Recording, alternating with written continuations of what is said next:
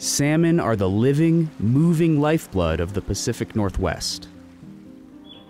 Each year, salmon make an epic migration through the heart of Seattle. But that journey is getting harder. Cool, well oxygenated water is critical for cold water fish like Pacific salmon.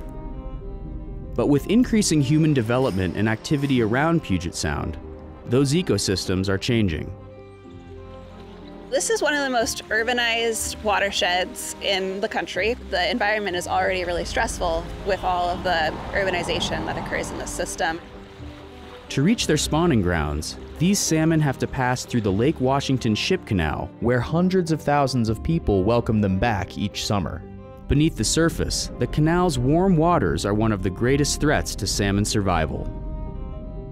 When salmon are exposed to warm water, it can delay their migration, so they might not move upstream. It creates quite a bit of stress, which can make them more susceptible to parasites and disease.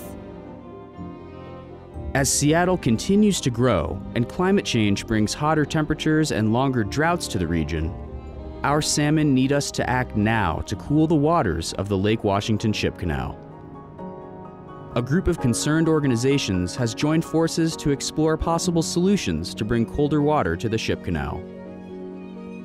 The traditional types of restoration approaches won't work here. We're looking for innovative, new types of solution to address this problem.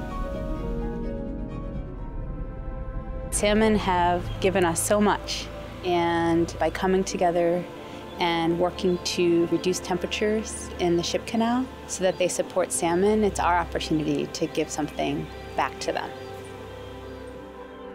Together, we can bring cooler water to the Lake Washington Ship Canal and keep Seattle salmon running for future generations.